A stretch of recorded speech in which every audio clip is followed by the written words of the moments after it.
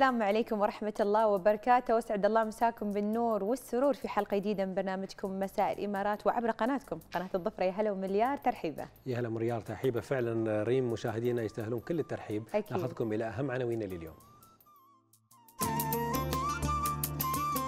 نقل أعضاء المتوفين دماغيا.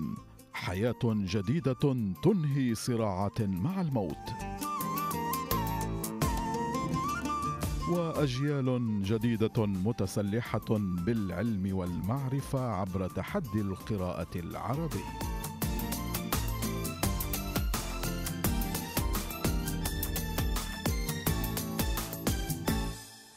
إذا مشاهدينا كانت هذه أهم عناويننا وفقراتنا إلى حلقة اليوم. أما الحين خلينا نبدأ معاكم مع نشرة الأخبار مع زميلة شيم الشمري.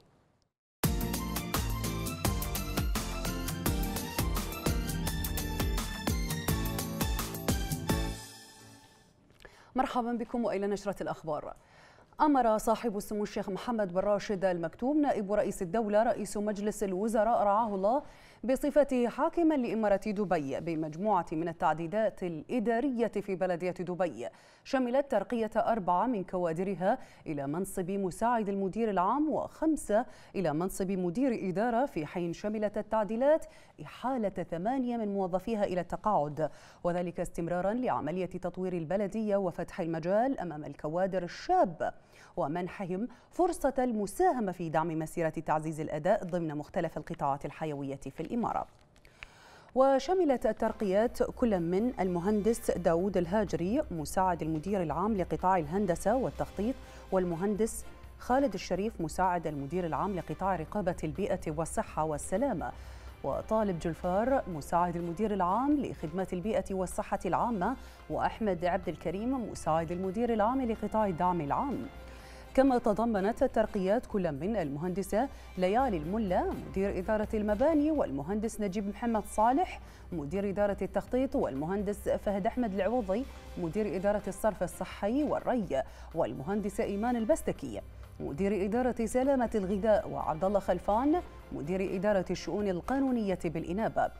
وشملت التعديلات الإدارية في بلدية دبي حالة ثمانية من موظفيها إلى التقاعد وهم خليفة حارب مدير إدارة الممتلكات ورشاد بوخش المدير التنفيذي للتراث العمراني وحول بستكي المدير التنفيذي لإدارة المختبر المركزي وحميد المري مدير إدارة النقليات وعبد الحكيم مالك مدير إدارة نظم المعلومات الجغرافية وإسماعيل البنا مدير إدارة المرافق الترفيهية وخليل حسين مدير إدارة مدير إدارة ومحمد النوري أخصائي. وأعرب صاحب السمو الشيخ محمد بن راشد المكتوم عن تقديره لجهود كل من شملهم قرار أو من شملهم شملهم قرار الإحالة إلى التقاعد لما قدموه من إسهامات خلال فترة عملهم متمنيا سمو لهم كل التوفيق في حياتهم المقبلة. وشدد صاحب السمو الشيخ محمد بن راشد المكتوم نائب رئيس الدولة رئيس مجلس الوزراء حاكم دبي رعاه الله على أهمية الوقت والالتزام بالمواعيد المحددة لإتمام تنفيذ البنية التحتية لمعرض دبي إكسبو 2020 من مواصلات داخلية وخارجية ومناطق خدمات ترفيه واتصالات وفنادق والمنشآت الأخرى المحيطة بمبنى المعرض كي يكون هناك متسع من الوقت لوضع الترتيبات النهائية. قبل توافد المشاركين في الحدث العالمي من أكثر من 180 دولة حول العالم. ووجه سموه خلال زيارته موقع إكسبو في منطقة جبل علي وعلى مقروبة من مطار المكتوم الدولي. يرافق سمو الشيخ حمدان بن محمد بن راشد آل مكتوم ولواء دبي وسمو الشيخ مكتوم بن محمد بن راشد آل مكتوم نائب حاكم دبي. رئيس وأعضاء اللجنة العليا لإكسبو 2020 برئاسة سمو الشيخ أحمد بن سعيد آل مكتوم رئيس هيئة دبي للطيران الرئيس الأعلى لمجموعة طيران الإمارات. بأن يتحلوا بالصبر والإيجابية والتفاؤل دائما. وعند كل صباح كي ينجحوا في عملهم ويؤدوا واجبهم على أكمل وجه. وأكد سموه خلال اجتماعه برئيس وأعضاء اللجنة العليا ثقته المطلقة أو ثقته المطلقة بهم وبفرق العمل لما يتحلوا به من روح إيجابية وإرادة قوية من أجل أن يكون معرض دبي إكسبو 2020 مميزا وفريدا ومتفوقا من حيث التنظيم والاستقبال والضيافة والترويج له داخل دولة الإمارات وعلى مستوى المنطقة والعالم. استقبل صاحب السمو الشيخ محمد بن زايد آل نهيان ولي عهد أبو ظبي نائب والقائد الأعلى للقوات المسلحة اليوم في قصر البحر المنتخب الوطني لرياضة المعاقين الذي حقق سبع ميداليات ذهبية وفضية وبرونزية خلال مشاركته في منافسات دورة الألعاب البارالمبية التي استضافتها مدينة ريو دي جانيرو البرازيلية. وعرب صاحب السمو الشيخ محمد بن زايد ال نهيان عن فخره واعتزازه بما قدمه أبطالنا من إنجاز غير مسبوق في أحد أهم المحافل الرياضية العالمية. مشيرا سموه إلى أن أعضاء الفريق أثبتوا جدارتهم وتفوقهم وإصرارهم على تحقيق الأفضل لوطنهم ولأنفسهم. وقال سموه لدى تهنئته أعضاء الفريق أن الروح إن الروح الوطنية والعزيمة القوية وإرادة أبنائنا وبناتنا أثبتت أنها تصنع النجاح والتميز والتفوق.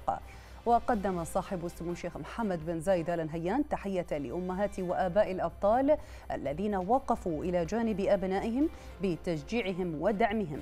وأشاد سموه بجهود الجميع من إداريين وفنيين ومدربين بتوفير عوامل النجاح كافة لهذا المنتخب المشرف. مطالبا سموه إياهم مضاعفة العمل والجهود وتحقيق مزيد من الإنجازات التي يفخر بها الوطن وأبناؤه وضم الوفد لاعبي ولاعبات منتخب دولة الإمارات للمعاقين يرافق محمد الهاملي رئيس اتحاد الإمارات لرياضة المعاقين رئيس الوفد وماجد العصيمي نائب رئيس الوفد رئيس الاتحاد الآسيوي لرياضة المعاقين.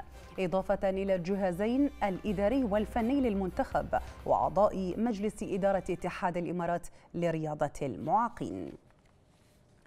شهد صاحب سمو الشيخ الدكتور سلطان بن محمد القاسمي عضو المجلس الأعلى حاكم الشرقة صباح اليوم في قاعة المدينة الجامعية حفل انطلاق فعاليات الدورة السادسة عشر من ملتقى الشرقة الدولي للراوي والذي يقام بتنظيم من معهد الشرقة للتراث تحت شعار جحا تراث إنساني مشترك.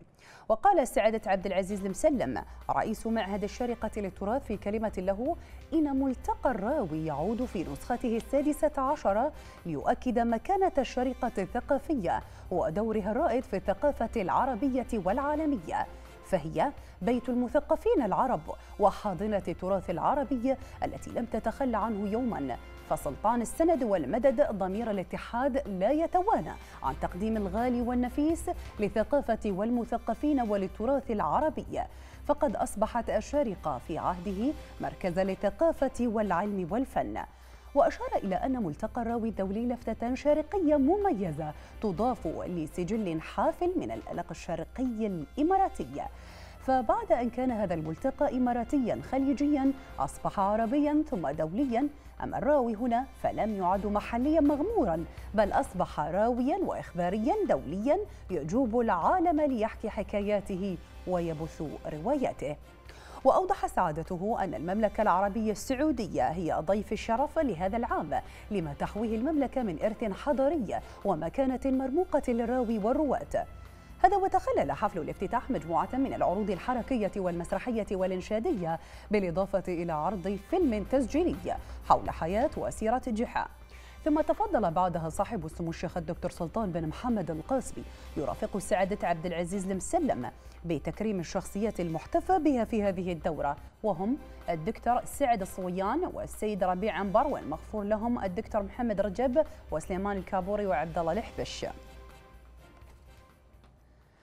التقى صاحب سمو الشيخ الدكتور سلطان بن محمد القاسمي عضو المجلس الأعلى حاكم الشارقة رئيس الجامعة الأمريكية في الشارقة ظهر اليوم في مكتب سموه بالجامعة السيد فرانسيس ريتشاردوني رئيس الجامعة الأمريكية في القاهرة.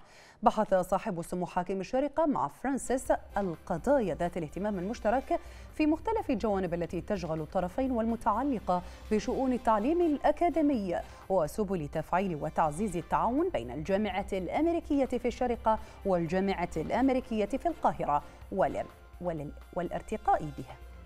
تبادل سموه معه الآراء حول تطوير التعليم وأهميته في تنمية المجتمع والحفاظ على الأمن والأمان من خلاله بغرس الأفكار النيرة والبناءة في نفوس أفراد المجتمع. واستعرض صاحب السمو الشيخ الدكتور سلطان بن محمد القاسمي أمام الضيف منجزات الجامعة الأمريكية في الشارقه متطرقا لنشأة وتاريخ الجامعة ومشاريعها التطويرية في مختلف الجوانب الأكاديمية والعمرانية. مؤكدا سموه على الجهود التي تبذلها الجامعة الأمريكية في الشارقة لجعل مبانيها صديقة للبيئة بما في ذلك نجاح الجامعة في ترشيد استهلاك الطاقة فيها.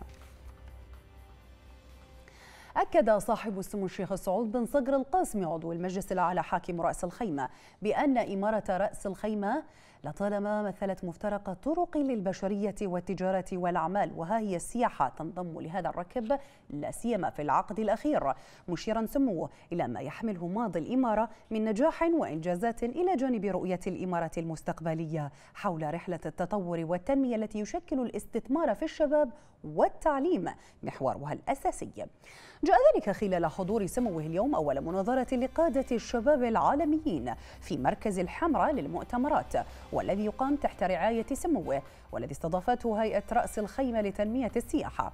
من جانبه قال هيثم مطر الرئيس التنفيذي لهيئة رأس الخيمة لتنمية السياحة. قال إن الفعالية استقطبت أهم القيادات الشبابية في المنطقة للحديث حول بعض التحديات الملحة التي تواجه المجتمعات اليوم وفي المستقبل.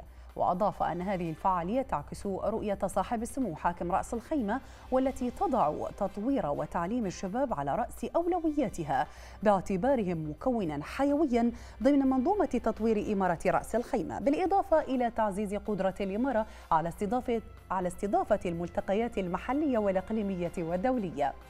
يشار إلى أن إمارة رأس الخيمة تضم حاليا أكثر من خمسة ألاف غرفة فندقية موزعة على 42 فندق ومنتجع. ومن المتوقع أن ترتفع القدرة الاستيعابية بطرح أكثر من 3500 غرفة قيد الإنجاز في 12 فندقا بحلول عام 2019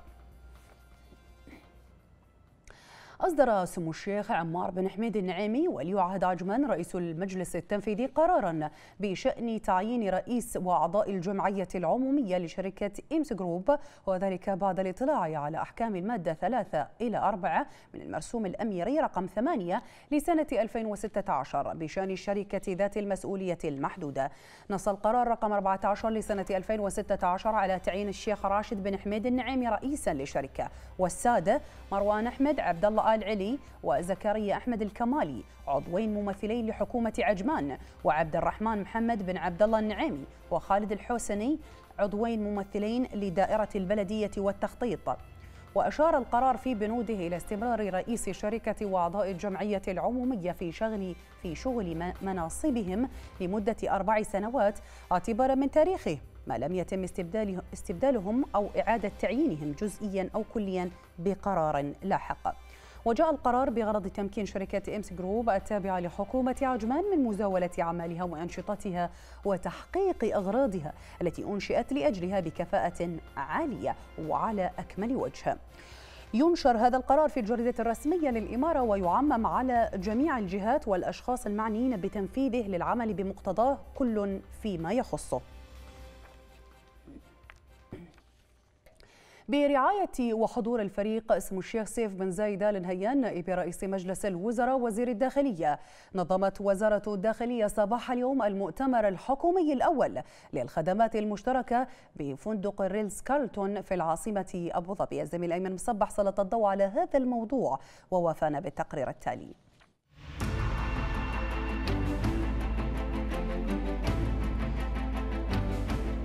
انطلقت صباح اليوم في العاصمة أبو ظبي فعاليات المؤتمر الحكومي للخدمات المشتركة في دورته الأولى الذي تنظمه وزارة الداخلية برعاية الفريق سمو الشيخ سيف بن زايد آل نهيان نائب رئيس مجلس الوزراء وزير الداخلية حيث شهد المؤتمر مشاركة مسؤولين حكوميين رفيعي المستوى. طبعا يهدف المؤتمر إلى خلق منصة حوار حكومية فعالة من خلال استضافة وزراء وكلاء وزارة وممثلين من قطاعات حكومية مختلفة من دول مثل كندا الولايات المتحدة الأمريكية المملكة المتحدة وأستراليا. آه، بيتم خلال المؤتمر حلقات نقاشية في قطاعات آه، الشؤون الأمنية قطاع الصحة وقطاع التعليم. بداية شاكرين لوزارة الداخلية على استضافتنا في هذا المؤتمر الخدمات المشتركة اللي موجودة عندنا اليوم في دولة الإمارات.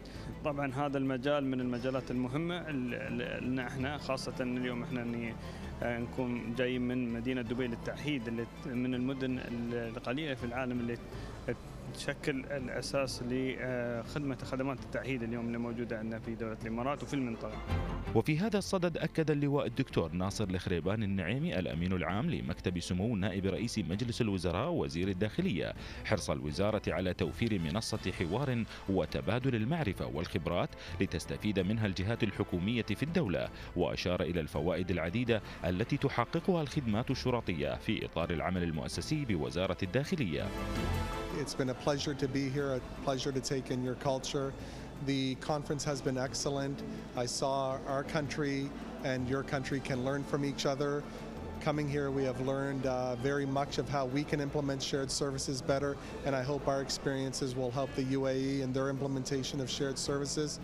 And I look forward to working together in the future and benefiting both countries. كما ولفت اللواء الدكتور النعيمي إلى أن الخدمات المشتركة تمثل بيئة تميز من خلال دعم الموظفين ذوي الخبرة للإبداع في تطوير النموذج التشغيلي للخدمات المشتركة ودعم اتخاذ القرار من خلال تحليل البيانات وتصنيفها حسب المحاور الأساسية للمؤسسة والمرونة من خلال الحصول على الخدمات المشتركة من قنوات تسليم متعددة أو مواقع جغرافية.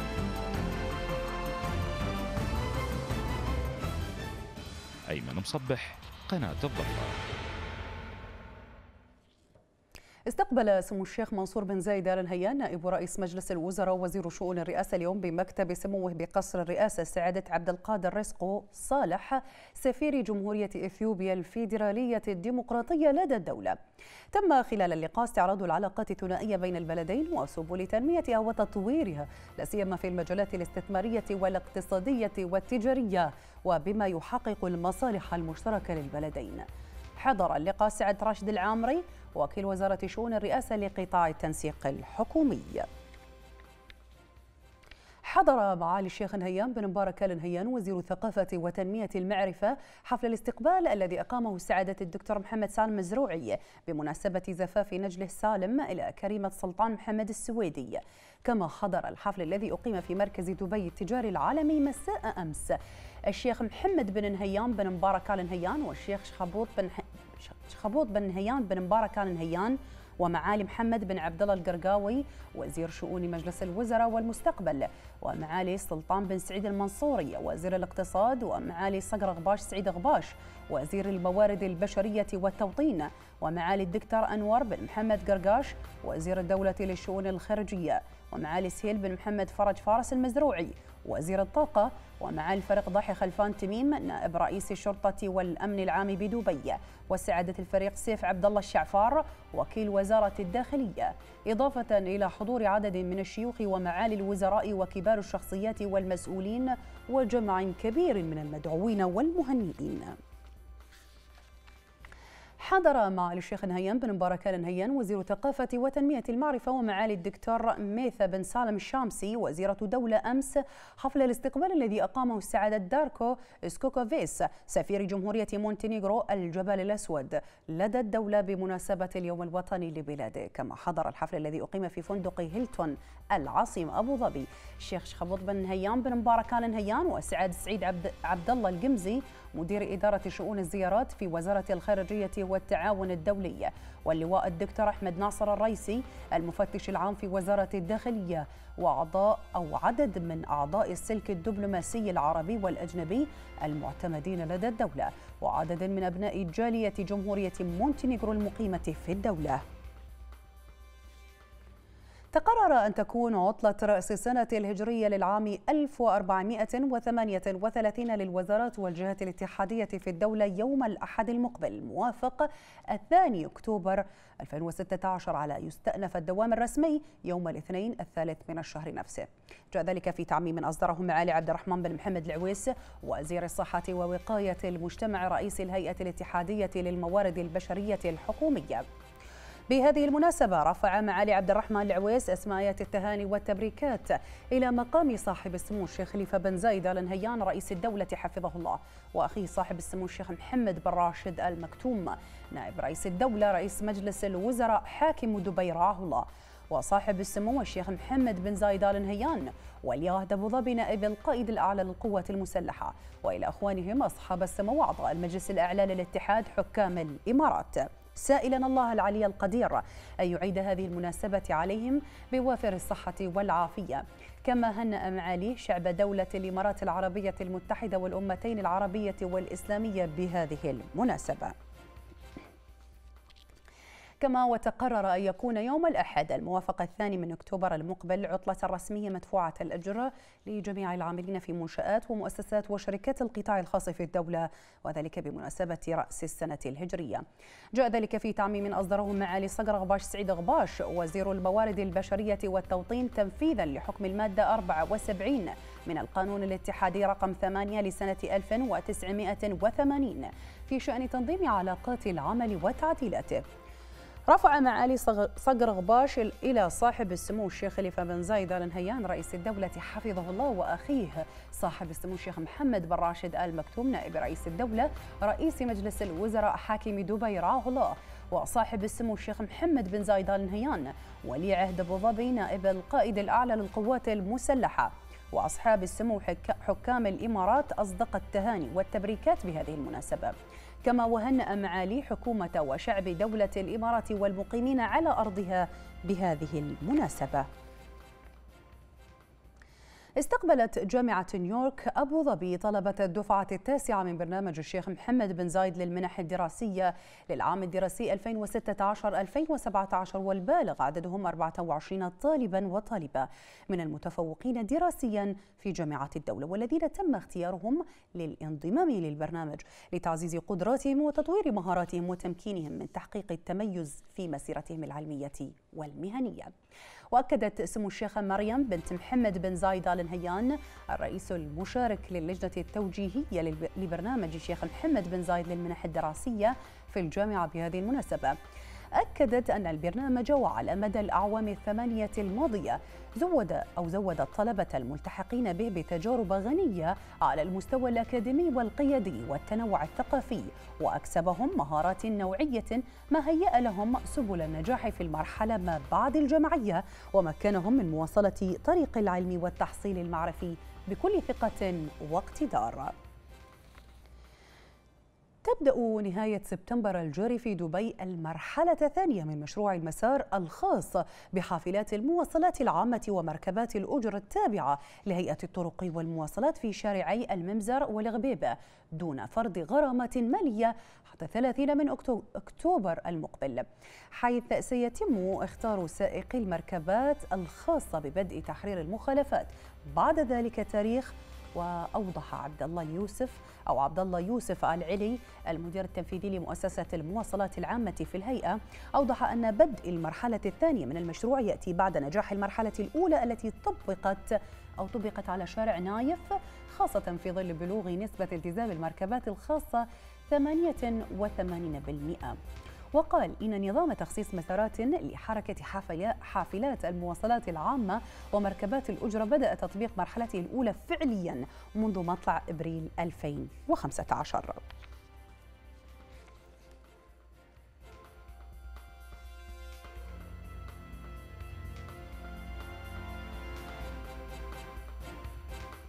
إليكم آخر إغلاقات المؤشرات لسوق المحلية لليوم.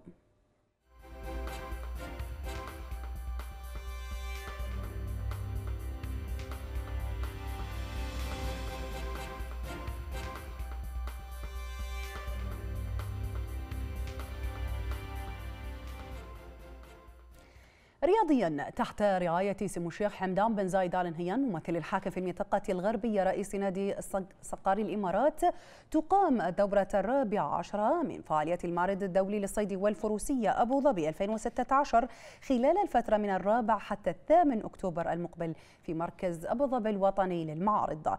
يحظى المعرض الذي ينظمه نادي صقار الإمارات في دورته الجديدة بدعم كبير من قبل لجنة إدارة المهرجانات والبرامج الثقافية والتراثية. الثقافية وهيئة البيئة أبو ظبي وهيئة أبو ظبي للسياحة والثقافة. وبرعاية من مهرجان سمو الشيخ منصور بن زايد آل نهيان العالمي للخيول العربية الأصيلة. تأتي هذه الدورة من المعرض استمرارا لسلسلة من النجاحات والفعاليات المعنية بصون التراث وحماية البيئة. أما الآن نتابع وإياكم درجات الحرارة العظمى والصغرى لليوم.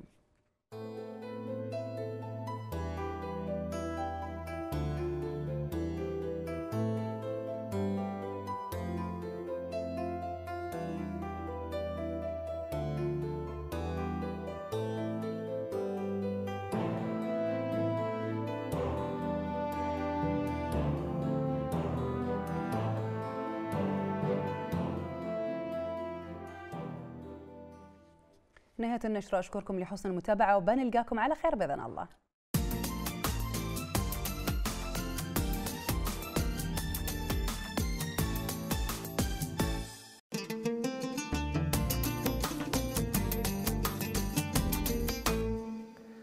رحب فيكم مشاهدينا في حوار المساء. معاناة وألم هو ما رصدته بعض الصحف المحلية عن مرضى في مستشفيات الدولة. تقف حياتهم رهنا لكبد أو كلية موهوبة. لتزرع في جسدهم أمل جديد وحياة صحية تكمن بعض مآسي تلك الحالات المرضية أن أصحابها أطفال بعمر الزهور. وبحسب المادة العاشرة من قانون زراعة الأعضاء فإن لمجلس الوزراء أن ينشئ مركز وطني لتنظيم نقل وزراعة الأعضاء والأنسجة البشرية وحفظها أيضا. القانون واضح ومواده جلية ولكنها بحسب مختصين فإنها تحتاج إلى تضافر الجهود لإنجاحه وتطبيقه موضوعنا اليوم ساخن ويحتاج إلى توضيح وربما لا تكفي حلقة واحدة ولكن كعادتنا نفتح الملف ونبقيه مفتوحا حتى نلم بكل حيثياته اليوم للحديث أكثر عن هذا الموضوع معنا في الاستوديو الدكتور علي العبيدلي رئيس اللجنة الوطنية لزراعة الأعضاء واستشاري أمراض وزراعة الكلى نرحب فيك دكتور أهلا وسهلا مشكورين على الاستضافة. الله يسلمك طبعا سنخوض في هذا الموضوع المهم جدا واللي طبعا هو متعلق بحياة الناس ولكن بعد تقرير اعديناه للموضوع. مشاهدينا إلى تقرير حوار المساء وعد بعد قليل تابعونا.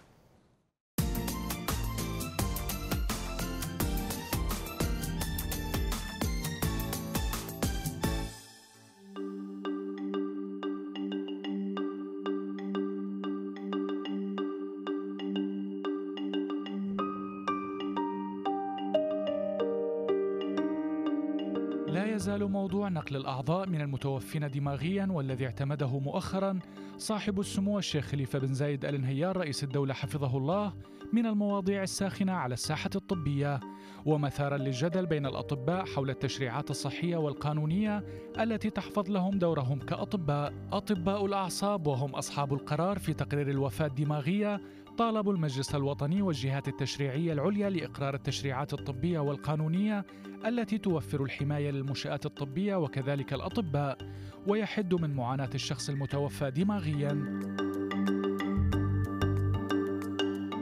25 وفاة دماغية تحدث في أقسام العناية المركزة سنويا على مستوى الدولة وأعضاؤهم يمكن أن تفيد أكثر من 150 مريضا بحاجة إلى عمليات زراعة الأعضاء بدلا من دفنها تحت التراب في حال رغبة المتوفين بالتبرع وموافقة الأهل ما يجنب المرضى الكثير من المعاناة ويجنب الدولة تحمل مبالغ مالية طائلة لعلاجهم.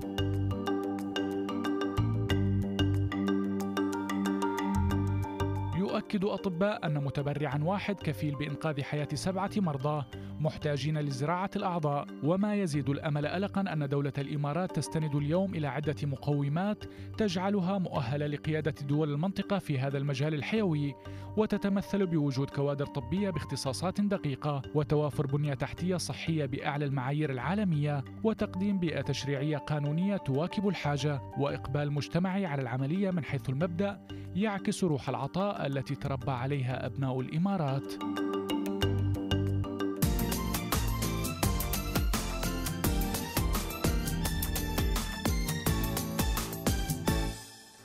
دكتور طبعا أول شيء قبل ما نبدأ في أي أمر فإنما نشكر سيدي صاحب السمو رئيس الدولة على هذا القانون اللي هو طبعا يعني بشأن نقل أعضاء المتوفين دماغيا فإذا ما أردنا من جهتكم أبعاده كيف تقرؤونه ومن المستفيد من هذا النوع طبعا من عملية نقل الأعضاء. هو طبعا آه، القانون يعني آه، يحظى بدعم جميع آه، فئات ومكونات مجتمع دولة الإمارات نعم. القانون اللي صدر من صاحب السمو الشيخ خليفة بن زايد رئيس الدولة يعني يؤصل ويضع الإطار المناسب للتوسع في برامج زراعة الأعضاء بما يشمل التبرع بعد الوفاة طبعا التبرع بين الأحياء آه، حاليا موجود نعم. وناجح في داخل الدولة بالنسبة للقانون آه، هو بالمجمل يعني يتكون من آه، تعريفات بند نعم. التعريفات بند الأهداف يلخص أن مثلا حماية الأفراد حماية المرضى منع الاتجار ووضع الإطار القانوني ومن ثم يعني في بنود آه، مثلا تسمح بإنشاء مركز وطني لزراعة الأعضاء إلى آخره. آه، الملاحظ أن يعني القانون منسجم ومتوافق مع تعريفات مثلا آه، الوفاه بما يشمل التبرع بعد الوفاة الدماغية واللي هو متفق مع آه، تعريف مثلا آه، منظمة الصحة العالمية وجهات كثيرة يعني دينية وقانونية. طبعا مثل هذه القوانين لابد لها من دراسات وهناك حالات للتبرع وأنواع. ولكن أنت ذكرت أمرين مهمين جدا وهناك حالة التبرع أثناء الوفاة الدماغية آه، وأيضا في هناك عملية التبرع بعد الوفاة ولكن بعد الوفاة تكون النسبة ضئيلة جدا. فما المفارقة بين هذا وهذا؟ هو المفارقة أن ظاهرة الوفاة الدماغية ظهرت في ستينيات القرن الماضي. نعم. وسبحان الله في نفس الوقت آه، أيضا عمليات زراعة الأعضاء بدات يعني آه، بدات من الستينات. تنشط في ذلك إن آه، في شريحة من المرضى ولو نحسب احصائيا تقريبا واحد نص إلى واحد بالمئة من جميع الوفيات تكون الوفاة في ظروف معينة في مثلا في المستشفى فتكون هاي حالة الوفاة تتم بينما يكون المتوفى يعني قبل الوفاة في المستشفى ويكون على أجهزة الإنعاش ففي نعم. هاي الحالة اللي هو نسبة ضئيلة يمكن 1% أو أقل آه، يكون الشخص متوفي لكن أعضائه صالح لاستخدام الآخرين استخدام نعم. نعم في هذه الحالات هو أيضا يتم القيام بأخذ بعض الأعضاء لزراعتها لأشخاص آخرين طبعا بناء على موافقة مسبقة من طبعا المريض أو من أهله أو كيف تكون الآلية؟ لأن هذا الأمر طبعا كثير من الناس يتحدثون عنه أن بعض المستشفيات ممكن أن تستغل مرضى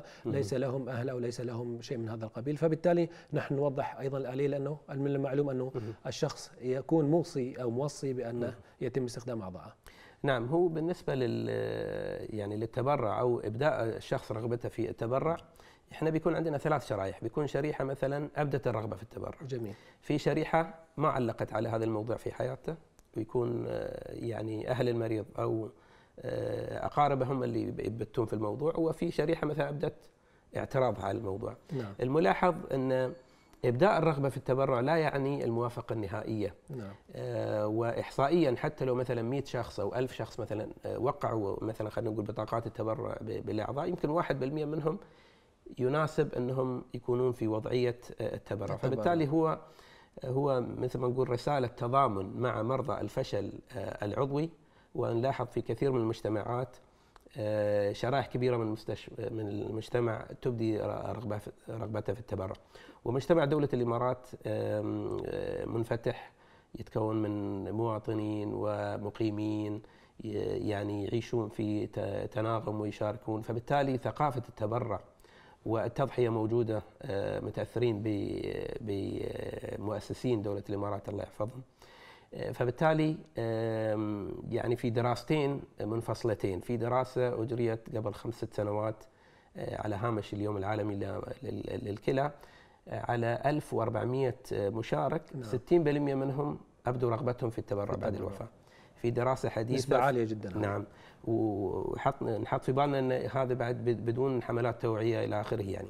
في دراسة حديثة من من سنة في جامعة آه، محمد بن راشد للطب والعلوم الصحية 68% آه، من آه، المشاركين أبدوا رغبتهم في التبرع بعد الوفاة. فهذا يدلنا إن المجتمع جاهز بل ويطالب في ممارسة حقه في التبرع وإنقاذ حياة الآخرين. إذا كان هذا المجتمع يعيش في أرض الخير فلماذا لا يوجد بالخير؟ طبعا لدينا مداخلة هاتفية أيضا من الأستاذ أمين الأميري سنأخذها ونبقى أيضا على تواصل وإذا كان هناك سؤال من جهتكم إليه مباشرة نستطيع عبر الهواء أن نوصلها إليه.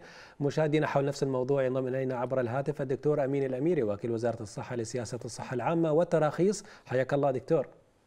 الله يحييك. أهلا وسهلا. نحيي الدكتور علي كذلك. الله يسلمك يا رب إن شاء الله. طبعا نحن علمنا أن هناك تضافر لابد أن يكون للجهود في عملية دعم القانون وزراعة الأعضاء. في ماذا يدعم القانون برامج زراعة الأعضاء فيما يخص تعريف الوفاة بداية. نعم بسم الله الرحمن الرحيم. في البداية أنا أشكركم على هذا التواصل ومناقشة موضوع مهم يهم صحة وسلامة مجتمع الإمارات وبالتحديد برامج نقل وزراعة الأعضاء البشرية باختلاف أنواع هذه الأعضاء. لا شك بأن تعريف الوفاء في القانون الجديد سوف يدعم برامج نقل وزراعة الأعضاء على مستوى المستشفيات الحكومية والخاصة والعسكرية. والآن أصبح تعريف الوفاء عبارة عن توقف أو يتم تحديد الوفاء بعد بعد تأكد من توقف القلب والتنفس توقفا تاما أو توقف جميع وظائف المخ توقفا تاما ويتم تحديد ذلك من قبل ثلاثة من الاستشاريين المتخصصين نعم. في نفس المستشفى استنادا إلى القرار الذي سوف يصدره معالي وزير الصحة والآلية التي سوف تقوم بها من خلال اللائحة التنفيذية التي يجب أن يتم إصدارها خلال ستة أشهر من صدور القانون علما بأن القانون صدر في شهر 8 من عام 2016 ونحن كمعنيين بالخدمات الصحية في دولة الإمارات دولتنا الحبيبة نقول بأن هذا القانون عبارة عن نقلة نوعية للتشريعات الصحية في دولة الإمارات وهذا التطور وإصدار هذا القانون نابع عن حقيقة حرص قيادتنا الرشيدة في دعم البرامج الصحية وفي التحديث والتجديد للتشريعات الصحية بما يواكب التطورات الصحية على الصعيد العالمي وكذلك بما يتماشى مع الشريعة الإسلامية والقوانين التي أصدرتها الدول الأخرى فيما يختص ببرامج نقل وزراعه الأعضاء. ونحن من خلال عملنا في إصدار هذا القانون بالتعاون مع جهات ذات الاختصاص. وأنا أحب من خلال منبركم الموقر أن أقدم شكري وتقديري لكل جهة شاركت بوضع هذا القانون أو بنود هذا القانون منها هيئة الصحة بأبو ظبي وهيئة الصحة بدبي ومدينة دبي الطبية وخدمات طبية القوات المسلحة والخدمات طبية وزارة الداخلية وحقيقه مجلس الوزراء الموقر ووزارة شؤون الرئاسة ووزاره العدل والهيئة الهيئة الإسلامية لشؤون الأوقاف وكل الجهات التي حقيقة شاركت من قريب أو بعيد في إصدار هذا القانون. ولا أنسى جهود وفضل الله سبحانه وتعالى. ومن ثم جهود أخونا الفاضل الدكتور علي العبيدي الذي كان له الدور الكبير في حقيقة إصدار هذا القانون و حقيقة وضع بعض البرامج التي من شأنها أن تنظم عملية نقل وزارات الأعضاء على مستوى الدولة. الشكر لك دكتور أمين الأميري طبعا على هذه المداخلة الهاتفية ودائما تلبون الدعوة. نشكركم كل الشكر. هذا واجب وأشكركم على التواصل دائما. الله يحفظك يا رب نعود إليك يا دكتور علي طبعا الدكتور أفاد بعملية الوفاء ما هو يقره القانون وأيضا قام بشكر الجهات المعنية والتي ساهمت في هذا الأمر. أنتم الآن تقولون قلتم في بعض التصاريح بأن الإمارات جاهزة من كفاءة من ثقافة ورغبة في طبعا أن تكون مركز لمثل هذه العمليات مثل الزراعة وأيضا فهناك اذا حالات وهناك أعضاء معينة نريد أن نعلم ما هي الأعضاء ومن ثم كيف الإمارات قادرة على أن تستوعب مثل هذا الأمر هو بالنسبة ل يعني زراعة الأعضاء والأنسجة الملاحظ مثلا الأعضاء اللي صالحة للزراعة هي الكلى القلب الرئتين الكبد البنكرياس والأمعاء والانسجه ممكن تكون القرنيات أو صمامات القلب أو نعم. نسيج العظام فهذه الأعضاء تكون حيوية وضرورية لبعض الأشخاص اللي يعانون من فشل عضوي وفي كثير من الأحيان طبعا بالنسبة لزراعة الكلى يمكن عمليات غسيل الكلى موجودة صحيح. لكن كفاءتها لا تضاهي كفاءة طبعا. زراعة ما, ما خسرتها لابد لكن لا الأعضاء الأخرى لا يوجد حتى البديل يعني نعم. فبالتالي هاي الأعضاء حيوية جدا لإنقاذ حياة الكثيرين بالنسبة لسؤالك عن تحديات دولة الإمارات دائما نعم تواجهها نعم. طبعا زراعة الأعضاء هي من التخصصات الطبية اللي فيها نوع من الخصوصية لأنها ما تشمل فقط الجهات الطبية فيها جهات طبية تعاون جهات طبية جهات قانونية جهات الإخلاء الطبي عمل مثلا تسجيل الرغبة في التبرع طبعا. لدى مثلا الهوية أو جهات أخرى فبالتالي يتطلب تضافر جهات كبيرة بحيث أنها تقدر تشتغل بشكل فريق نعم. متكامل وإحنا يعني من يعني نشوف أن دولة الإمارات مهيئة لانها تتبوع مكانة عالمية في هذا المجال لأن فعلا حكومة دولة الإمارات سواء الحكومة الاتحادية أو الحكومات المحلية قادرة أنها تشتغل بتناغم وتعاون كبير جدا بحيث أن يعني فعلا يعني شريحة كبيرة من المجتمع تستفيد من برامج طبعًا زراعة الأعضاء. طبعا. قياس نسبة النجاح حول العالم طبعا لابد أن تعتمد على آليات وعلى تقنيات وعلى منظومات مختلفة فكيف يمكن لنا أن تتوافر لدينا هذه الآليات والنسب؟ هو زراعة الأعضاء تقاس على مستوى العالم بنسبة التبرع لكل مليون نسمة. نعم. فكل الدول يعني تقارن سنويا في إحصائيات عالمية تقارن بين الدول وكل الدول حتى فيما بينها تحاول تخلق نوع من التنافس الداخلي بحيث أن ترتفع النسبة هذه. نسبة مثلا أعلى دولة نسبة للتبرع أعتقد تتحدث عن أمر يمكن نعم. عندنا صور إحنا نعرضها عن هذا نعم. الموضوع زودنا ببعض الصور. لو نعرضها ونتكلم عنها إذا ممكن مخرجنا. اذا دكتور علي مثل ما تشوفها طبعا أمام على الشاشة. يعني هذا مثال مثلا مثال أستراليا. أستراليا. إحصائيات سنة 2014 نشوف أن مثلا السكان هم في حدود 23 مليون نسمة. العدد الإجمالي للوفيات كان في حدود 150 ألف نعم. شخص. الناس اللي توفوا في المستشفيات كانوا نص هذا العدد يمكن 75 ألف. نعم. فنلاحظ أن الناس اللي أو المتوفين اللي أعضائهم كانت صالحة للاستخدام 700 عضو. هذا عن زراعة الكلى. نعم. زراعة الأعضاء. ف 700 عضو من يعني يمثل نص إلى 1% من إجمالي الوفيات. فبالتالي حتى لو الجميع أبدى الرغبة للتبرع هي نص بسيطة جدا اللي سبحان الله الله سبحانه وتعالى يعني ييسر لهم أن يكونوا في حالة ممكن أن يتبرعوا. حياة الآخرين نعم. بعد وفاتهم. سبحان الله. نعم. طبعا في صورة أخرى لو نستعرضها مرة أخرى هي يمكن تتحدث عن الدول أيضا.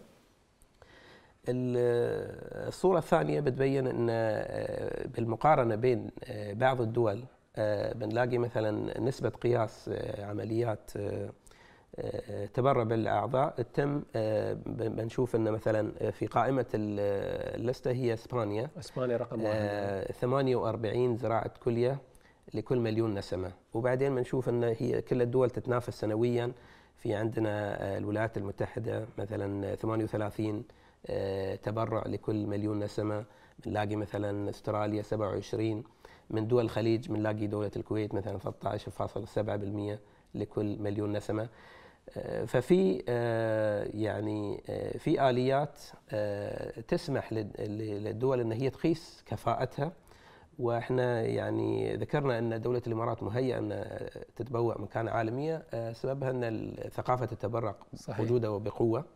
الرغبة؟ آه الربط الإلكتروني بين آه يعني دولة الإمارات كانت سباقة في آه أن أتمتت أو آه يعني الربط الإلكتروني بين المستشفيات. صحيح. التأمين الطبي آه صار إلزامي وهذا يعطينا آه معلومات كثيرة. إمكانية الربط بين العنايات المركزة فهاي كلها عوامل وأيضا طبعا وجود كفاءات في جميع تخصصات زراعة الأعضاء في الدولة معظم امارات الدولة.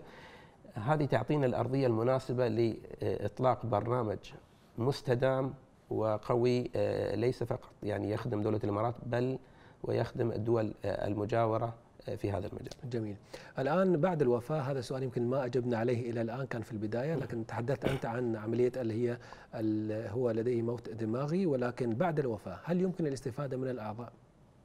نعم هو بعد الوفاة إحنا مثل ما ذكرنا أن ليس يعني في الأعضاء بتختلف. يعني في بعض الأعضاء مثل القلب يعني النافذة أو الاستفادة منها يعني فقط يعني فترة محدودة أقل من ساعتين إلى ثلاثة ويجب الاستفادة أو أن تكون تالفة. نعم. الكلى ممكن يعني تستأصل ولمدة 24 ساعة تكون على الثلج وتفيد المريض الآخر. الأنسجة ممكن فترتها مختلفة.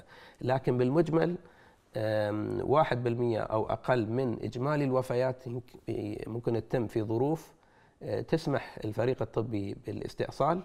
ومن ثم يعني إذا كان الرغبة موجودة عند المتوفى أو عند أهل المتوفى أنهم يتبرعون ففي الحالة هذه ممكن الفريق الطبي يقوم بالاستئصال وتوفير هاي الأعضاء أو الأنسجة اللي محتاجين لإنقاذ حياتهم يعني. طبعا.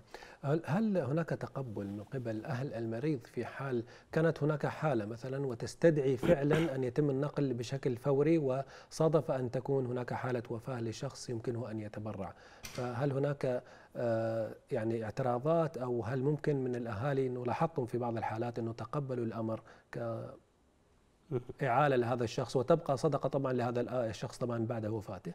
نعم يعني الكثير ينظر للموضوع أن هذا يعني صدقة جارية بعد بعد الوفاة فبالتالي لهم رغبة شديدة في التبرع. ف لكن الأغلبية ما يتوفون ما مثلا ما يكونون في حالة تسمح بإفادة الآخرين. فهي هي ظروف معينة تحكم أن هل هذا الإنسان توفى في ظروف معينة تسمح أنه هو يتبرع أو لا.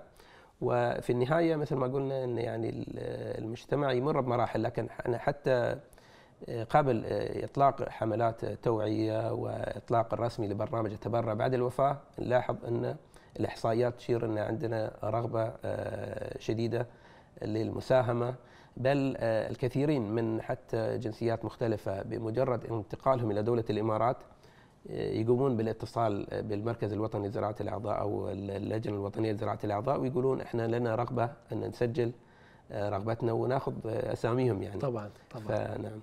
زين نحن في استبيان تقريبا عن طريق أيضا موقعنا التواصل الاجتماعي. لو يزودونا بالإستبيان ما هي النسبة التي أتتنا عبر التواصل الاجتماعي تويتر؟ 67% يقولون جماعتنا طبعا في الاستبيان عبر تويتر 67% مع. واذا يبقى 33% ضد هذا الأمر. وأنت ذكرت 64% مع. وبالتالي اذا الاستبيان نحن تقارب بشكل نعم. سريع حتى وإن في في يوم واحد. إذا اذا ماذا نقول للجهات التي لم تشارك لحد الآن؟ آه سواء كان من دون دراية لها أن هذا القانون قيد الإنشاء وقيد التنفيذ آه والجهات التي شاركت ماذا يبقى على هؤلاء وماذا يبقى على هؤلاء حتى نستطيع أن نصل بدولة الإمارات فعليا إلى مركز متقدم في تقديم الخير للبشرية. هو حقيقة اللي يجعلنا متفائلين أن إحنا لمسنا يعني روح التعاون والحرص على إنجاح هذا البرنامج حتى قبل إطلاقه.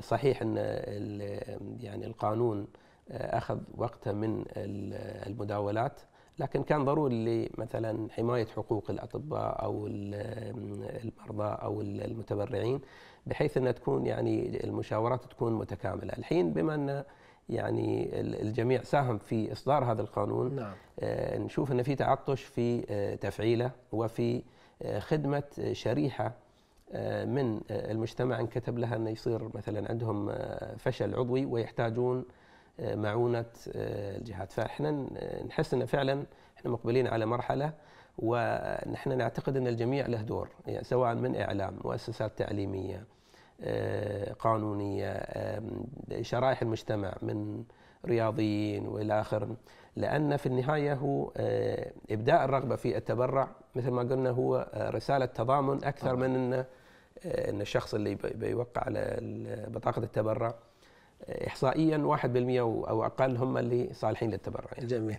الآن أيضا وردنا سؤال في هذه الحلقة أن لابد أن تكون هناك آلية للتبرع فإذا ما أردت أن أقوم بالتبرع ماذا علي أن أفعل؟ لمن أتوجه؟ وكيف هي وكيف هي الطريقة حتى يعني إني أقدر إني أوقع على أوراق أو أضع اسمي من ضمن القائمة للمتبرعين؟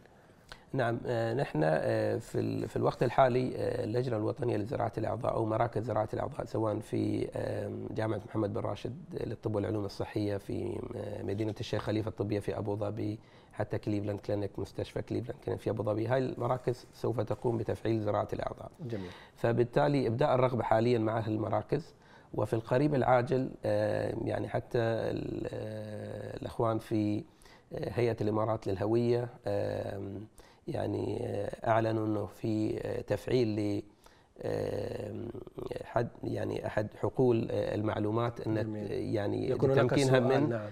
إبداء الشخص رغبته في التبرع أو لا. ففي القريب العاجل حيكون إطلاق يعني التسجيل الوطني.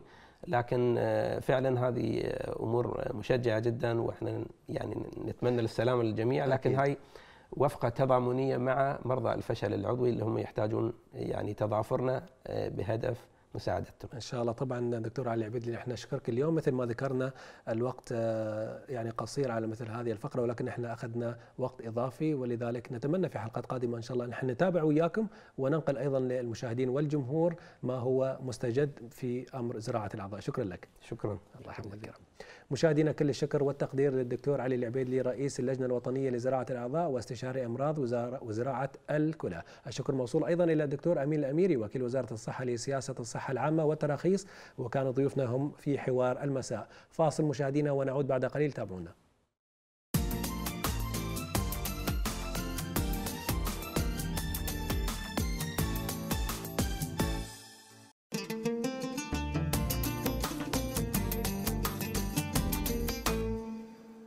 التحية لكم من جديد مشاهدينا بعدنا مستمرين معكم في برنامجكم مساء الإمارات بتتبرعين ولا لا؟ بنتبرع طال عمرك ليش ما نتبرع؟ الله نحن كذي كذي رايحين خلي الناس تستفيد من ورانا. الله يسلمك. خلينا نروح معكم إلى مواقع التواصل الاجتماعي لقناة الظفره اللي تظهر أمامكم على الشاشة بين الفترة والثانية واللي تقدرون من خلالها التفاعل معنا ومتابعة كل برامجنا أو مسلسلاتنا المتنوعة. نبدأ جولتنا على مواقع التواصل الاجتماعي من تويتر من صفحة صاحب السمو الشيخ محمد بن راشد ال مكتوم نائب رئيس الدولة رئيس مجلس الوزراء حاكم دبي رعاه الله الذي نشر على صفحته مجموعة من الصور له أثناء لقائه الدفعة الأولى للرؤساء التنفيذيين للسعادة. وغرد قائلا التقيت اليوم الدفعة الأولى من الرؤساء التنفيذيين للسعادة في الحكومة ببرنامجهم التدريبي الذي ننفذه بالتعاون مع اكسفورد نعم. كل التوفيق لكم أكيد. إن شاء الله يا رب. أيضا في تغريدة أخرى أضاف سموه قائلا المؤسسات الحكومية اليوم مطالبة بتغيير ثقافتها وسياستها لمواكبة التوجه نحو إسعاد موظفيها ومتعامليها. أنا, أت... أنا أترقب سعيدة. أترقب قريبا إن شاء الله رؤيتي إصدار رقم اثنين بإذن الله. إن شاء الله بإذن الرحمن أكيد. وإلى صفحة كلنا شرطة على موقع تويتر حيث تم إطلاق فيديو تعريفي قصير يتضمن لقطات الأفراد المجتمع والشرطة لإرسال رسالة المقصد منها بالتكاتف والتلاحم. تصبح إمارة أبو ظبي أفضل نموذج للأمن والأمان. نتابع معكم هذا المقطع.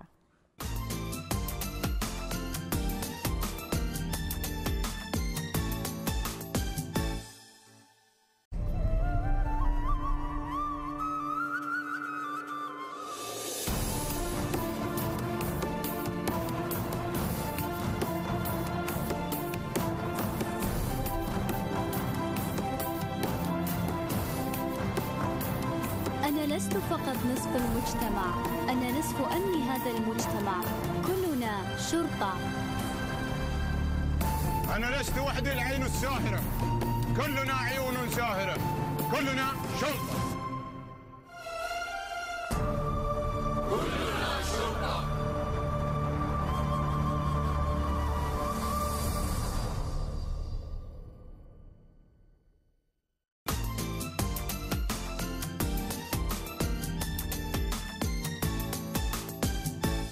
أنا طال عمرك بحمل الفيديو هذا عندي. ويوم حد يكلم يقول كلنا شرطة لا حد يكلمني عندي. تصريح فيه خلاص كل كلنا شرطة أكيد والجميع كلنا شرطة. والجميع يشارك في بناء هذا المجتمع هذا واجب نعم. على كل مقيم وعلى كل إماراتي إنه يكون فعلا في دور الشرطة لأن حماية الوطن هذه آه تكون على كل مواطن وكل مقيم أكيد الحمد لله زين ريم باخذك لموضوع ثاني مم. شو تخيلي إن عقوبة اللي يجيب معاه الموبايل في المدرسة أنت لو سألتني على الاستديو كان جاوبتك نحن مشاهدينا بشوف وياكم شو عقوبته اللي يجيب آه، موبايله في المدرسة في الصين مم.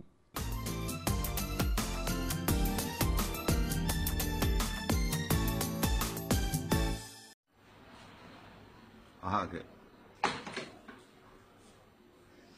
要不来一撮。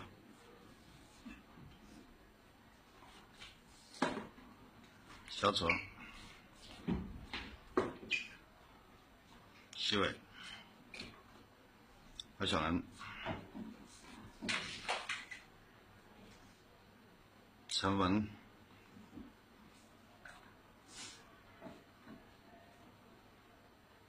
李霞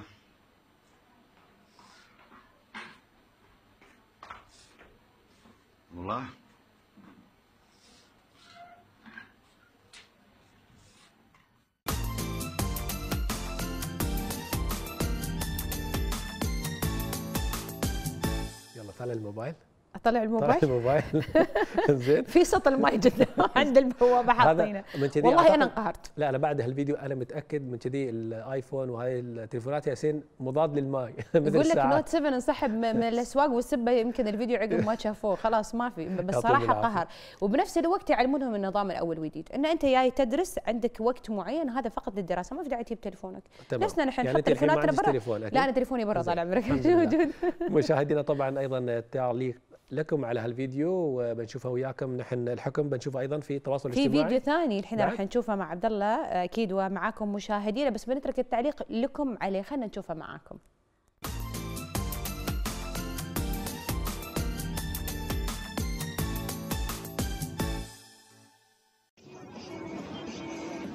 كويسه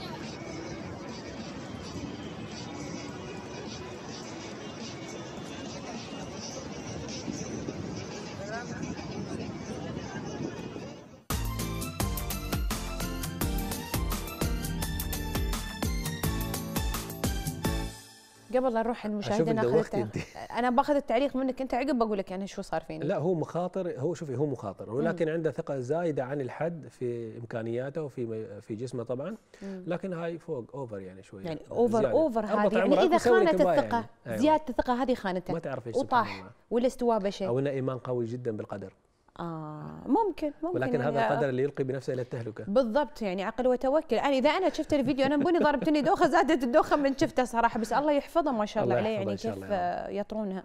إنزين في مقطع ثاني عن الدخان؟ عنا بس أنت بتاخذنا. إنزين. مشاهدينا أقول عنه عقوبة للي يدخن ويدوخ شيشة. خلينا نتابع وياكم.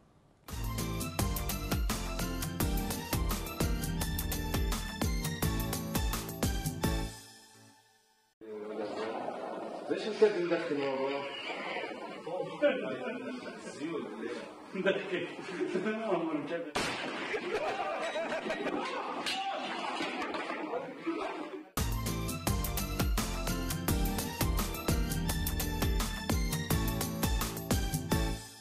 أول المتفاعلين معنا كان علاء اللولو ويقول لك إنه ما قام يشيش مع ربع بعد اليوم خلاص من يعني في في إيجابيات للفيديو في ناس خافت خلاص يقول لك ما هذا الحين المقطع بدايته كان ريال شيبة جالس على كرسي وسووا في هذه الحركة.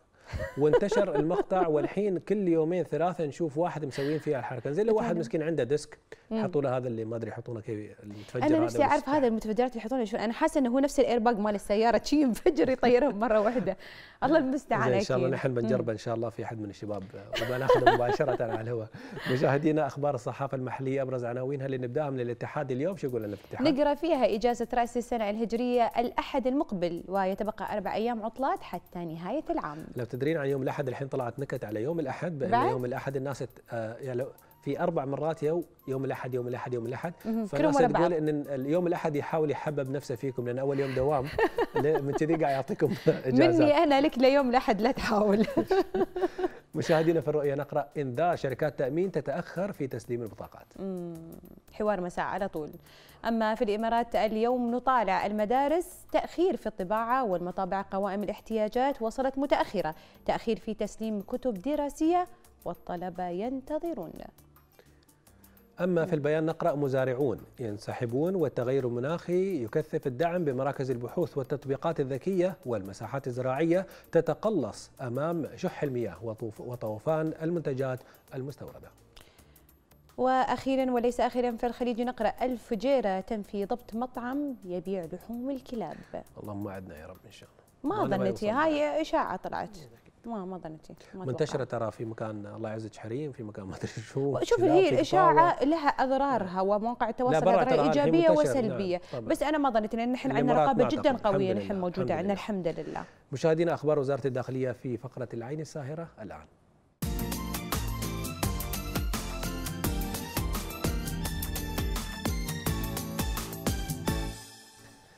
في أول أخبارنا أكد سعادة الفريق خميس مطل مزينة القائد العام لشرطة دبي أن المخدرات أصبحت أكثر تعقيدا مما كنا نتصوره سابقا وذلك بحسب الأرقام والإحصاءات التي تصدرها المؤسسات الدولية المعنية. موضحا أن الأبعاد الاجتماعية والاقتصادية والنفسية للمخدرات تتداخل بشكل كبير ولم يعد بالإمكان الحديث عن مشكلة فرد مدمن أو أسرة وقع أحد أفرادها في التعاطي والإدمان ولم تعد مشكلة جزئية أو حالات فردية. يمكن التعامل معها بمنطق العمل الفردي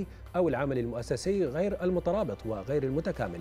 جاء ذلك خلال افتتاح سعادته ملتقى حماية الدولي الثاني عشر لبحث قضايا المخدرات الذي يأتي هذا العام تحت شعار الدور الإقليمي والوطني للحد من المنشطات الأمفيتامينات والكبتاغون ثم كرم سعادته الضباط المتقاعدين والمميزين عرفانا لهم على الجهود التي بذلوها طوال أعوام عملهم. في الإدارة العامة لمكافحة المخدرات كما كرم أيضا داعمي الدبلوم الإلكتروني وخريجي برنامج الدبلوم الإلكتروني الذين اجتازوا البرنامج بنجاح. قام وفد من إدارة المرور والدوريات بالقيادة العامة لشرطة الشارقة برئاسة العقيد شواف محمد عبد الرحمن مدير إدارة المرور والدوريات يرافقه عددا من ضباط الإدارة بزيارة لمستشفى الزهراء بالشارقة إطمأنوا خلالها على الحالة الصحية للعريف فادي محمود صابر من منتسبي القيادة ونقل الوفد خلال الزيارة تحيات القائد العام لشرطة الشارقة العميد سيف الزري الشامسي وجميع العاملين فيها. مشاهدينا إذا كانت هذه أخبار العين الساهرة وزارة الداخلية لليوم فاصل ونواصل.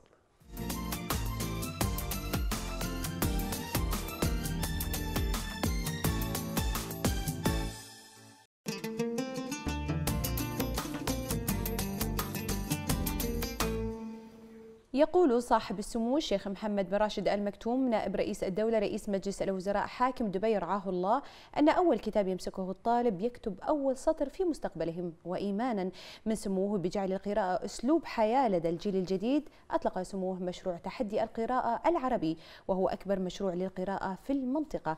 معنا اليوم في فقرة الوطن يقرأ إحدى أعضاء فريق تحدي القراءة العربي وهو محمد شبراق. يا هلا ومرحبا ويا هلا ومرحبا ومنور معنا شبارق عفوا. من أول اللغة العربية ضربت معنا. شبارق حياكم الله واهلا وسهلا بكم. الله يحييك أستاذ محمد شبارق طبعا ارحب فيك في وجودك هنا وندخل على طول في تحدي القراءة للعربي أبرز ما فيه وغاياته.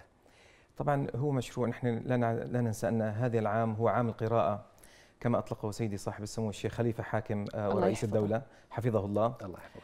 آه، انطلقت مبادرات الكثيرة التي تعنى بالقراءة وبأهمية القراءة وكان منها هذا المشروع والذي هو يعتبر أكبر مشروع لتشجيع القراءة في العالم العربي. نعم.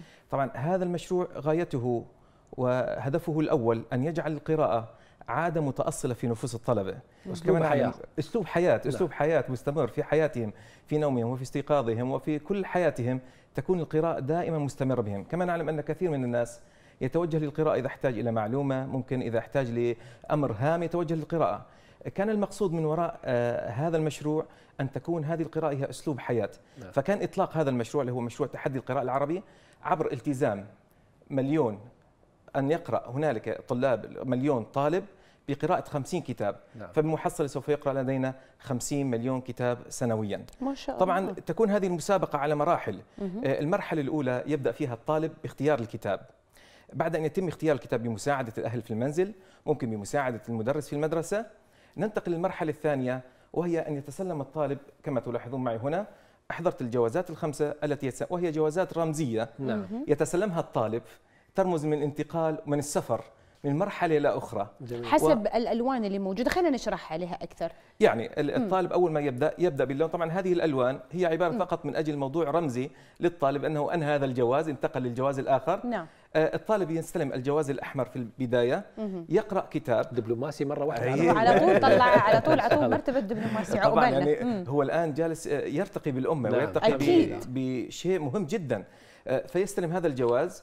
بعد ذلك يبدأ بقراءة الكتاب. بعد ما يقرأ الكتاب يبدأ بتلخيص ما قرأه. في الصفحة الأولى وفي التأشيرة الأولى. نعم. وهنا يقوم المدرس باختباره بسؤاله حول هذا الكتاب آه، بدخول معه في النقد لهذا الكتاب. ما نريده هو أن ننمي المهارات أن ننمي مهارات الطالب وليس فقط القراءة. نعم. آه، ينتهي الطالب من قراءة عشر كتب لينتقل بعد ذلك إلى الجواز الثاني ثم الثالث ثم الرابع. آخر شيء المرحلة الأخيرة ليصل الطالب إلى الجواز الذهبي. نعم. إذا أنهى الطالب قراءة خمسين كتاب ينتقل الآن للتصفيات. التصفيات طبعا تكون هناك على مراحل المرحلة الأولى تصفيات ضمن المدرسة ثم ينتقل للتصفيات على ضمن المنطقة الذي هو فيها. التصفيات الثالثة للدولة وبعد ذلك ينتقل للتصفيات على مستوى الوطن العربي جميل. جميل. طبعا لا أخفي أن هناك طبعا في هذه السنة اشتركت معنا 15 دولة ما شاء الله. في تحدي القراءة العربي ما شاء الله. جميل جدا زين سادة تكلمنا ليش القراءة بالذات اخترتوها لخوض هذا التحدي والتجربة مع أن في وايد مبادرات تكون موجودة ولا إنها لأنها كانت 2016 اختارت أنها تكون عام القراءة هل طبعا بداية دافع؟ بداية آه اختيار عام 2016 عام القراءة كان أيضا له هدف. أكيد. إذا اللي هو تشجيع القراءة وجعل كما قلنا في البداية عادة متأصلة في الشعوب. نعم. ربما أستطيع أن أقول لك أن أساس المعرفة هو القراءة. صح. لذلك كانت أول كلمة نزلت في القرآن اقرأ, اقرأ باسم ربك الذي خلق. أكيد. هناك أسباب عديدة اختيارنا للقراءة نعم. ولكن دعيني أن ألخص بسببين فقط. تفضل. السبب الأول لو طلعنا إلى الإحصاءات الموجودة في العالم. إحصاءات القراءة الموجودة في العالم. سوف نجد أننا نقع في أزمة قرائية بحتة. فعلا. المواطن في العالم العربي يقرأ ما معدله ست دقائق سنويا. هذه بلوى هذه مصيبة. ست دقائق. مصيبة كبيرة. أكيد. أما المواطن في العالم الأوروبي غير العربي فإنه يقرأ ما يعادل 200 ساعة سنويا. بس هذا كان زمان. هذا كان زمان. إحنا لا نحن نقرأ وما شاء الله علينا. نحن الآن لما ننظر إلى هذه المسابقة واثر هذه المسابقة. ما نريده من هذه المسابقة ولماذا القراءة من أجل أن نغير هذا الواقع في الإحصاءات. صح. جميل. فكان الاختيار القراءه من أجل تغيير وأيضا القراءة هي أساس لتنمية مهارات. نعم. مهارات نعم. عدة منها التفكير منها النقد منها التعبير. فالقارئ فالعالم لم يكن عالم إذا لم يقرأ. قراءة ترتقي بها الشعوب القراءة طبعا. القراءة هي تؤسسي فيها شعوب وتؤسسيها فيها دول ومدن. صح. لذلك سيدي صاحب السمو الشيخ محمد بن راشد ماذا قال؟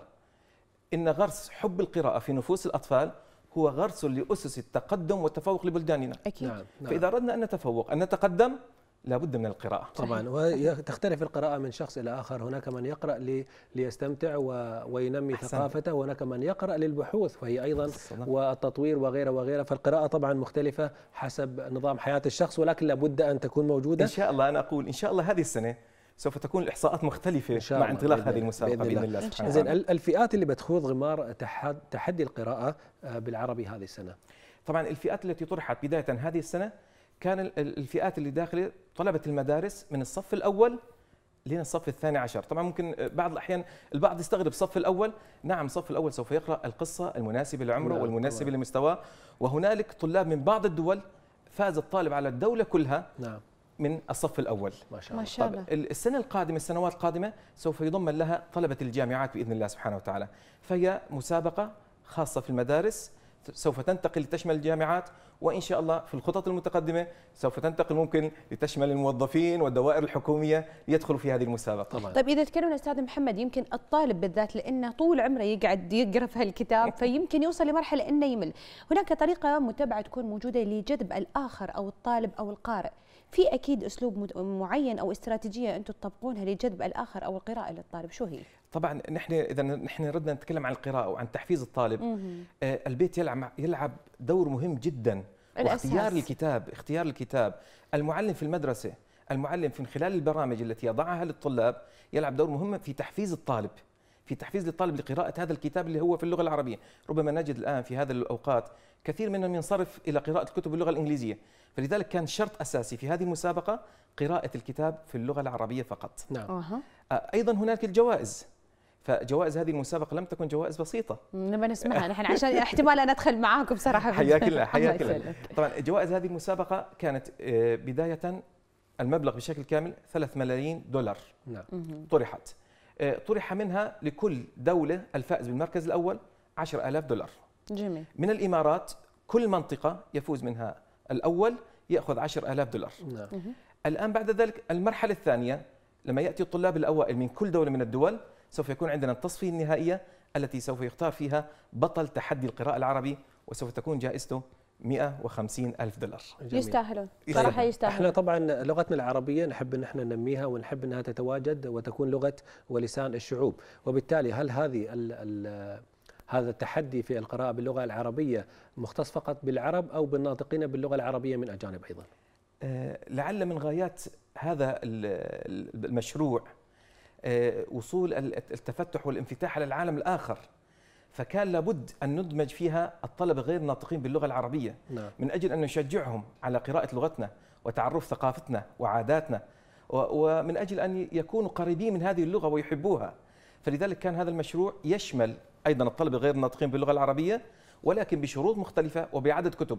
فالطالب الناطق باللغة العربية مطلوب منه أن يقرأ 50 كتاب. نعم. أما الطلبة غير الناطقين باللغة العربية فاكتفينا معهم ب 25 كتاب فقط. جميل. طبعا أيضا ما يناسب مستواهم وما يناسب عمرهم. عفوا. على موضوع بس آه، توضيح أخير اسمحوا لنا. نوعية الكتب هل هناك مكتبات خاصة لأخذ الكتب أو أي كتاب يوضع يمتلكه الشخص بين يديه يستطيع أن يقرأ فيه ويلخص أحسنت. كانت هنالك في درجة التحكيم وفي كان ينظر إليها في معايير التحكيم أن ينظر لنوعية الكتاب الذي يقرأه الطالب فأنا لا يعقل مني أن أحكم طالب في الصف التاسع أو الثاني عشر قد قرأ كتاب مستواه أقل من عمره نعم. نعم. ما نطلبه من الطالب أن يقرأ كتاب مناسب لعمره لذلك كان على موقع تحدي القراءة العربي هنالك مجموعة من الاختيارات جميل. جميل. الطالب غير مجبر فيها ولكن مجموعة من الاختيارات تساعد هذا الطالب على اختيار الكتاب المناسب بما يناسب عمره وبما يناسب ثقافته نعم. نحن حتى نحن أطلقنا مبادرة طبعا. أكيد من تلفزيون الظفرة وهي آه، الظفرة تقرأ وراح تكون قريبة بعد على شاشتنا يعني معاكم اندماجا في هذه آه، المبادرة أنا حبيت أكد على موضوع أيضا القراءة أن الآن بدأ آه، إدماج المكتبات والاتفاق مع المكتبات من أجل إصدار كتب في اللغة العربية وتزويد المكتب العربي بالكتب الأكثر من أجل أن تكون يستطيع الطالب لما يتوجه للمكتبة أن يحصل على ما يريده من كتب. أكيد طبعا. نحن نشكرك أستاذ محمد شبارق على تواجدكم معنا اليوم ونتمنى لهذا التحدي أن مثل السنة اللي طافت هاي السنة يكون العدد والكمية والقارئين يكون أكبر بشكل كبير جدا. وكل الشكر لكم مشاهدينا طبعا على التواصل الدائم معنا عبر التواصل الاجتماعي وأيضا مشاركتكم في حوار المساء اليوم كانت آه، مرقية لهذا الحوار. كل الشكر للأستاذ محمد شبارق مرة أخرى. نراكم إن شاء الله غدا. إلى اللقاء. حياكم نلقاكم باكر في نفس الموعد إذا الله أحيانا. من لكم أجمل تحية. تصبحون على ألف خير.